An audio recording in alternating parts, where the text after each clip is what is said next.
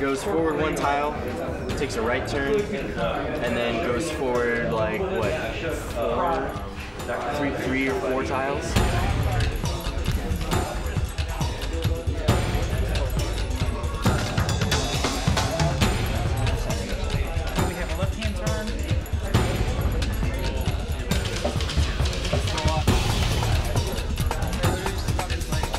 The thing I learned the most was just working with other people and and how to work with them efficiently. I would say the biggest thing I learned was being a part of a team. Teamwork is very important, and teamwork brings out your communication skills, time management skills. I think the most important thing I learned was the NASA system, the NASA way of doing things. We got to observe NASA professionals and interact with them closely.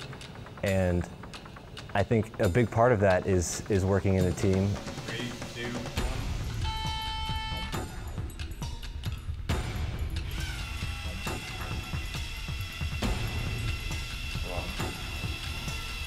We're given the challenge at the beginning to pick roles that we weren't necessarily suited for. Oh yeah. Someone is really good at programming, they were encouraged to be part of the design team. And someone who's, who has very little knowledge of software was, uh, was encouraged to be part of the programming team.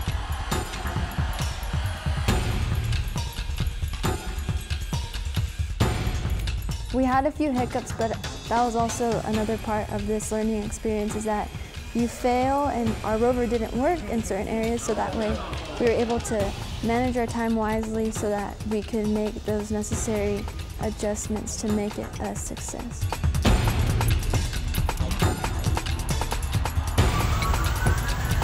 I feel like this is a different experience from a group project because it felt like doing an actual job as an engineer.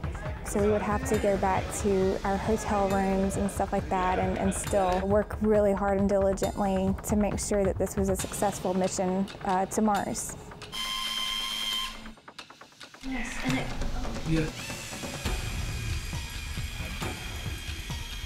It was different from a group project because we didn't focus on one topic.